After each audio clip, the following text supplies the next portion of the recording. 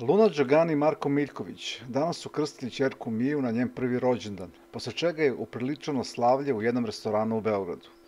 Na slavlje su došli Gagi Đogani i Anabela Atijas koja je stigla sa svojom jačom polovinom Andrejem Atijasom, a sada je i svima jasno da je palo pomirenje Lunine majke sa Zetom, o kojem se mesecima spekulisalo. Anabela i Marko Miljković više nisu u svađi, što je potvrdila i ponosna baka male Mije. Ja sam se rasplakala, srce mi je puno, jako sam emotivna. Ovo su predivne emocije. Ja sam najponosnija baka. Premašila je sva moje očekivanja. Uživam u ulozi baki. Nisam Lunu savjetovala danas, pustila sam je da uradi sve na svoj način. Vidim da uživa i da je srećna i meni je to dovoljno. Ja bih volila da vam prenesem osjećanja, pretjerano sam emotivna, priznala je Anabela. Gag je danas otkrio da se verio i da je zaljubljen, što je prokomentarisali njegov bivša supruga Anabela s kojom nije u dobrim odnosima.